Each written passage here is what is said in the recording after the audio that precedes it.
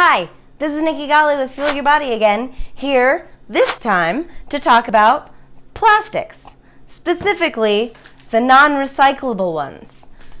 They're everywhere. What the heck do we do with them? I have a solution.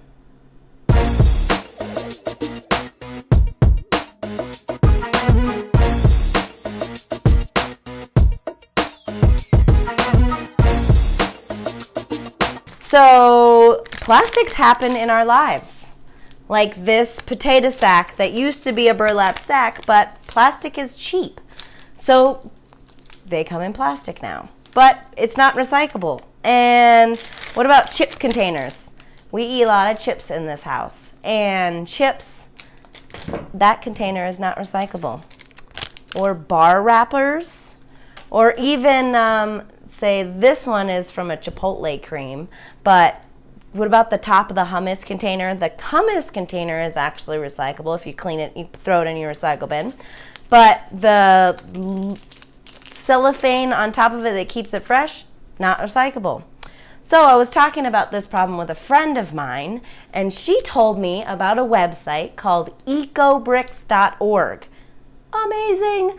So many useful techniques, but they specifically talk about bottle bricks. And a bottle brick is just just what it sounds like. It's a bottle that you make into a brick. And you fill it with all of this non-recyclable plastic.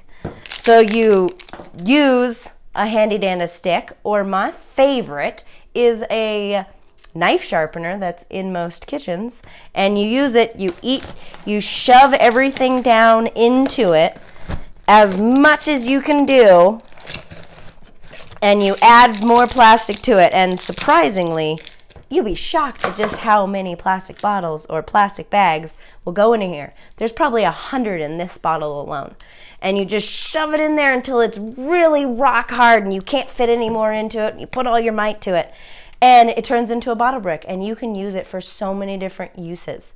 Check out the ecobricks.org and you can see people turn it into housing material. You can build walls and brick walls and maybe even gardens with it.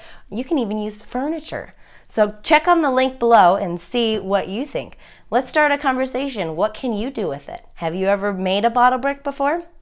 Again, this is Nikki Golly with Fuel Your Body and I will see you next time.